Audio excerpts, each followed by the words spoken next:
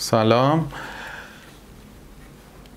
می‌خوایم که ویندوز این لپتاپ رو نصب کنیم روشن می‌کنیم. این لپتاپ لنووه. به محض اینکه روشن می‌کنیم این ارو رو میده.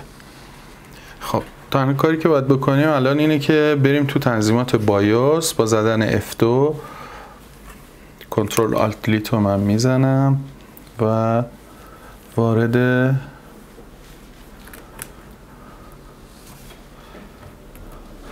تنظیمات بایوس میشم. به محض اینکه کنترل آلت دیلیت زدیم.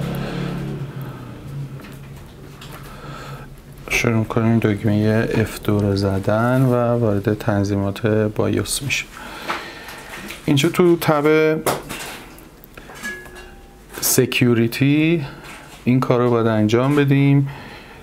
تو قسمت secure boot که enable هست اینو ما باید disable ش بکنیم. و F10 رو می‌زنیم تنظیمات ذخیره بشه و دوباره لپتاپ خاموش بشه.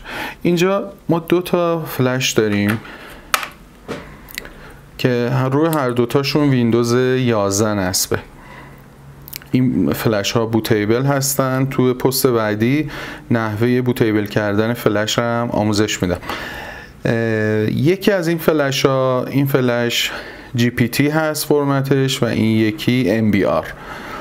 من ابتدا با MBR تست می‌کنم ببینم آیا detect می‌کنه یا نه. توی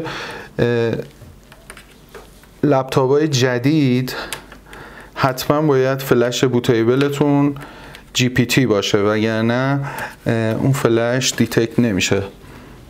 یک بار دیگه reset می‌کنیم.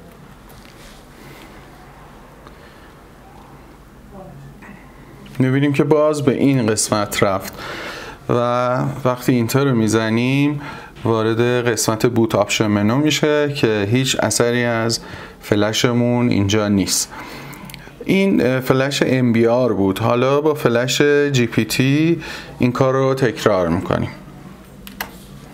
این فلش رو خارج می‌کنم. این یکی فلش که GPT هست رو می‌ذارم. یک بار دیگه کامپیوتر رو ریست می‌کنم.